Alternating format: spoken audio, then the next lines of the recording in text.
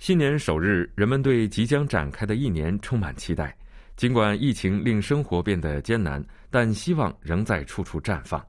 三、二、一，新年快乐！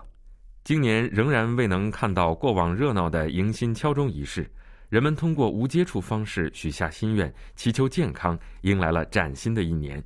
新年的第一名新生儿降临到了我们身边。一月一日零时零分，三点四四公斤的女孩，恭喜你们！经过因新冠疫情而加倍小心的一年的等待之后，迎来第一个孩子的家人无比喜悦。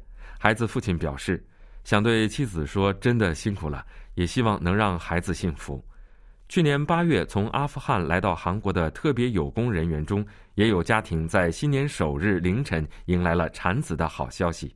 新年第一天，果蔬集市开始今年的营业。商人们怀抱着今年将有所不同的期待，迎来了第一位客人。一名商人表示：“希望新冠疫情尽快结束，回到以前的生活。小工商户遭遇了很多困难，希望大家不要气馁。”在尚未能恢复到疫情之前的机场内，货机占满了空位，装载着半导体等出口产品，开启新年的第一次飞行。疫情后被解雇和数十年间处于长期被解雇状态的劳动者，满怀回归岗位的希望，叩拜了一百零八次。新的一年，祈愿恢复日常生活，回到工作岗位。